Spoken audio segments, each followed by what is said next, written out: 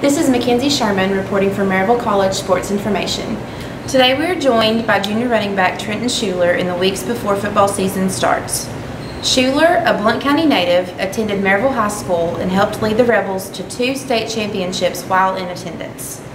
After graduating high school in 2013, he started his journey as a Maryville College Scot. Let's check in with him and see how the preseason is going and how it is wrapping up. What are your feelings towards the upcoming 2016 season? Well, the feelings of just like the community are that 8 and 2 is not good enough around here anymore. So I think the goal and the expectation of everybody else is 10 and 0 uh, conference championship. But our first step, of course, is to beat Berry and keep everybody healthy for that this season. Speaking of being healthy, your your injury last season, what happened with that? Well, I caught staph in my pelvis after the ETSU game, second game of the season, and uh, I was out for the rest of the eight games, and it actually put me out for like six months.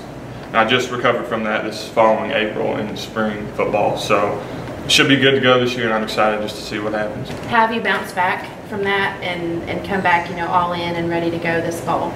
I just learned uh, one thing through this whole process is don't take anything for granted because you never know when your last play is going to be or whenever your last season is going to be. So just give it your all, everything you do, and don't give up short. What's one thing that you've diligently worked on? If you had to, to narrow it down to one thing, what would that be that you're, you're preparing in for this season? Uh, I would probably say my fatigue aspect, like getting more stamina for this season. When you started your journey looking for colleges and everything, what is it about Maryville College that appealed to you and made you decide on this school? Coach, at the time, Coach Rader had the program going, you know, in an up direction. So that was coming from winning, going to winning is always nice.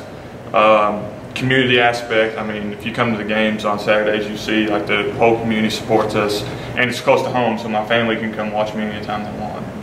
Going into his junior year on the field, Shuler has played in 26 games while donning the orange and garnet, recording 309 rushing attempts, totaling with 1,863 yards with 23 touchdowns. Once again, this is McKenzie Sherman from Maryville College Sports Information.